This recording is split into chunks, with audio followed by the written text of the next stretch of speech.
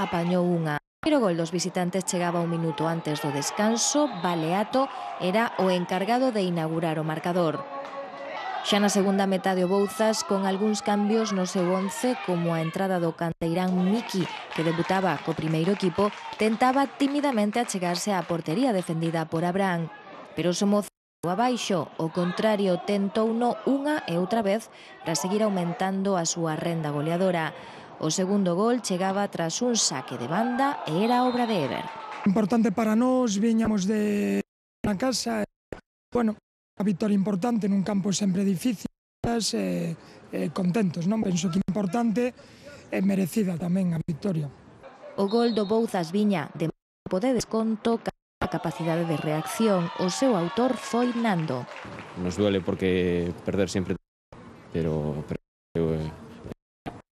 creo que no hemos sido capaces de, de conseguirlos eh, e empezar a trabajar para, para la siguiente.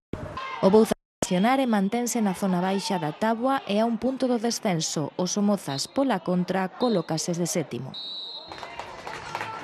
Imos con máis cousas desta xornada, por exemplo, a primeira victoria do Grixoa. Vai seguir de pechaca. Conseguiu gañar finalmente ante o